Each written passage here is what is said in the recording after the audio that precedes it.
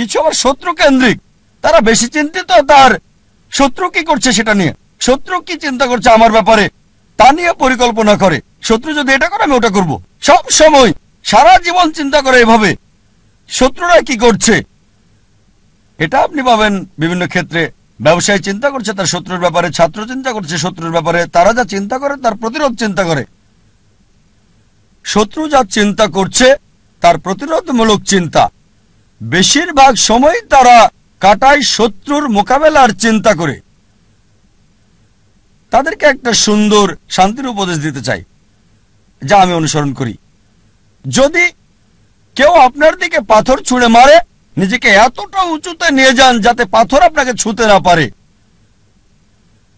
কেউ আপনার দিকে ঢিল ছুঁড়ে মারলে, নিজেকে এমন উঁচুতে নিয়ে যান যাতে পাথর আসতে না পারে। তাহলে প্রতিযোগিতার প্রশ্ন আসবে কি করে? আপনার বিরুদ্ধে শত্রুর পরিকল্পনার সুযোগ আসবে কি করে?